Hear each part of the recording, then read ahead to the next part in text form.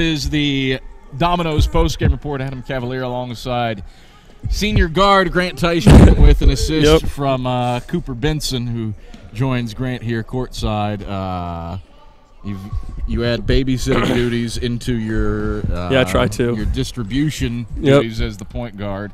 Uh, what's the harder job, babysitting or making sure your teammates Uh, have good shots? keeping up with this kid, he's crazy. so everything else comes easy after that. Uh, this was a weird one, Grant. Thirteen oh four on the clock when Yeah. the game picks up. Uh, break down what goes on in, in that resumption. Mars Hill cuts it to four, but uh, you guys play good defense in the final five minutes to close up shop with a win. Yeah, I mean, probably the weirdest game I've ever played.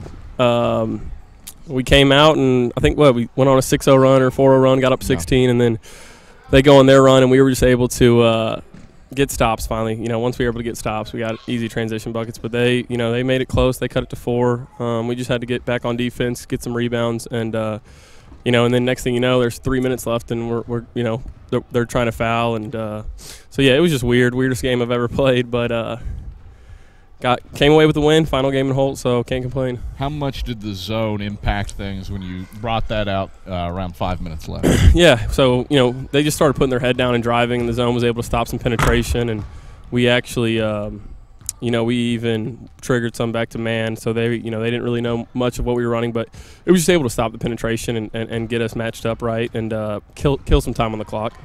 What's it mean to you for this senior class to close the doors on Holt this year with all four members in double figures? Yeah, I mean that's you know obviously I'm happy for those guys, happy for you know all of us. Um, you know, can't just be one guy, and uh, everyone stepped up big. Happy for Parker, obviously 20 and 10, that's huge. Um, and then you know just to get a win and try and carry that into Newberry, carry that now into the um, tournament.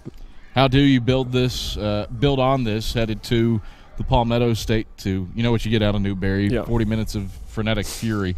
Uh, how do you build on that playing the Wolves on Saturday?